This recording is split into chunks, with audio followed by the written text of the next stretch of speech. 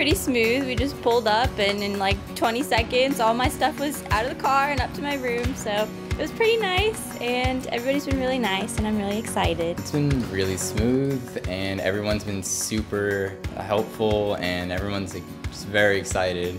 It's awesome. I mean, it feels very welcoming. This is our, our baby and he's, he's the last one out of the house, so this is kind of tough mixed emotions. We've Yep. had an older son come here and graduate. We have a daughter here, and we have our son. So we have comforting feelings of knowing the school is safe and um, they're going to get a good education.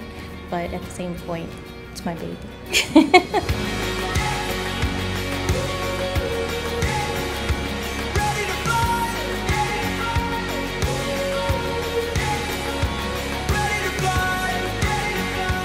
It's an exciting day. We're so pleased. Um, we just know in our heart it's the right place for her to be and uh, excited for her to be here.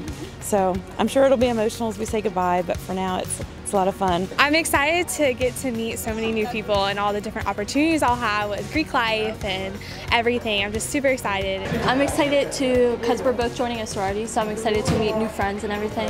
And we're both going to play club soccer, so it'll be fun to meet new people on the soccer team and everything like that. Everybody here is really nice. Our RAs are really cool. Everybody looks really excited to be a Yellow Jacket, so it's going good. So far, so good. Everyone has been like a big help because they're just like fast, they're there, and they're all excited for you, and we're excited, so it makes it even more exciting for us in the process. I'm looking forward to finally moving on, my, living on my own and uh, meeting a lot of new people. I've heard a lot about this place and a lot of friends that love it, and excited to play baseball here and meet everyone and see the sports environment as well as the academic side. I'm just excited about like meeting new people and making friends.